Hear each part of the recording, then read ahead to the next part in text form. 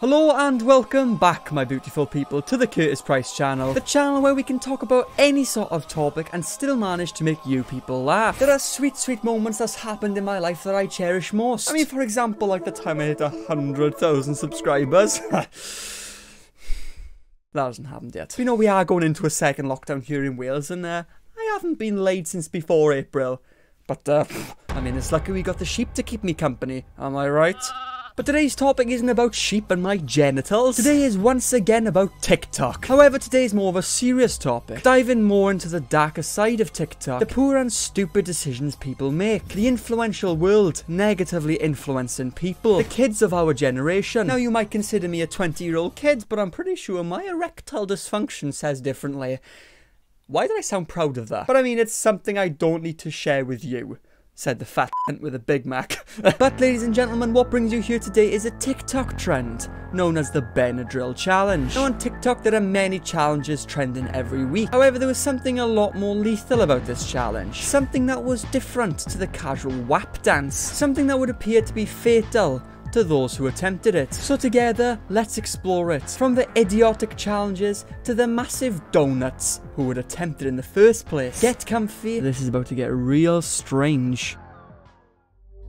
Well, there's a new TikTok challenge that you really need to be aware of, and it's called the Benadryl Challenge. That has reportedly gone viral on social media platform TikTok. It's an over the counter drug that is used frequently, but it's being abused in this challenge for its side effects. Last week, a 15 year old girl died from an overdose of Benadryl. The dose that can cause a hallucination is very close to the dose that can cause something potentially life-threatening. Please follow me on Twitter and Instagram because I really need followers. but listen up everyone, we are on 70,000 subscribers and with your guys' help, we might actually be able to get to 80,000 by the end of this month. I need to prove to my mum that YouTube is a viable thing for me, so please subscribe.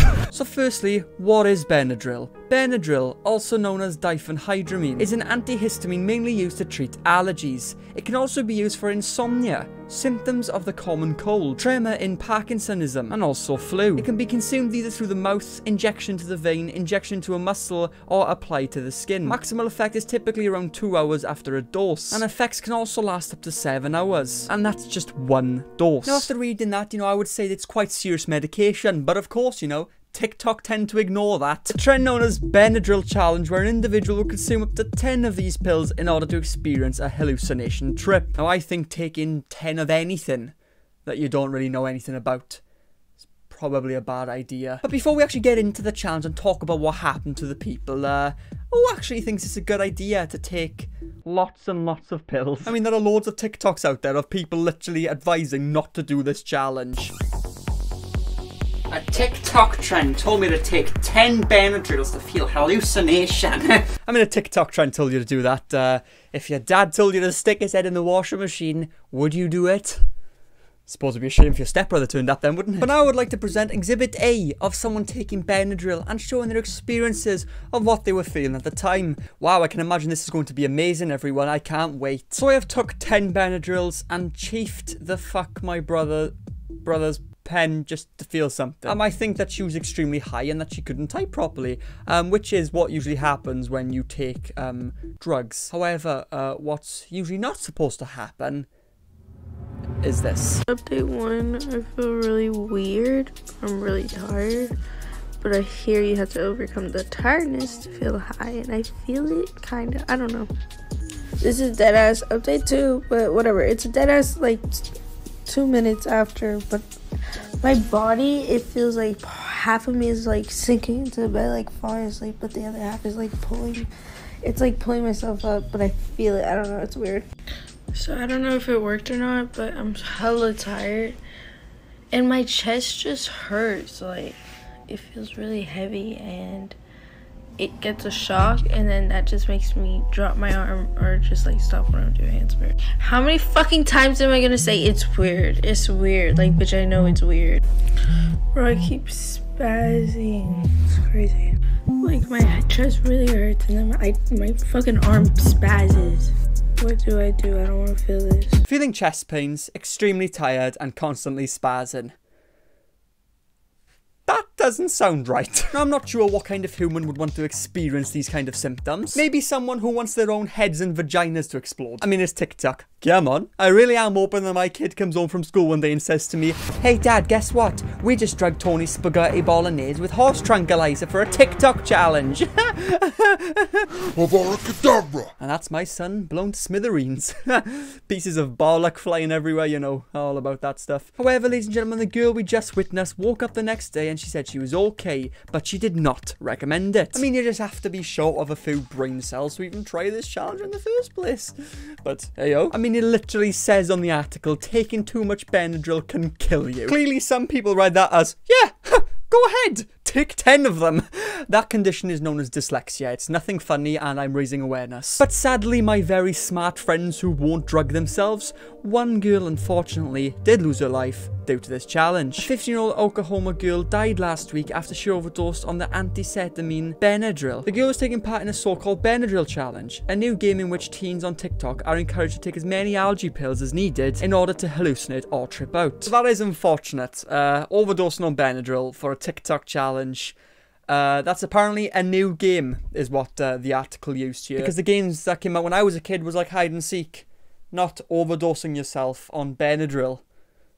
That is a bit uh, strange. And unfortunately, someone did die from it, and now TikTok are being forced to remove these videos. I mean, imagine being forced to remove them. I would have fucking removed them anyway. What are you, fucking stupid? Remember, like a year ago, when I was in a shop and I was buying three packets of paracetamol. The guy over the counter told me I was fucking stupid. I was like, what's that supposed to mean? But there were three teenagers that visited a hospital in one weekend due to this challenge. But yet people continue to consider this as a good idea. Slowly and maturely, I am losing my faith in humanity. I mean, people wonder the day aliens take over our Earth and how we will respond to it. Well, let me tell you, our generation will be off their faces on Benadryl, they'll see the cute little aliens and they'll want to give them a little cuddle.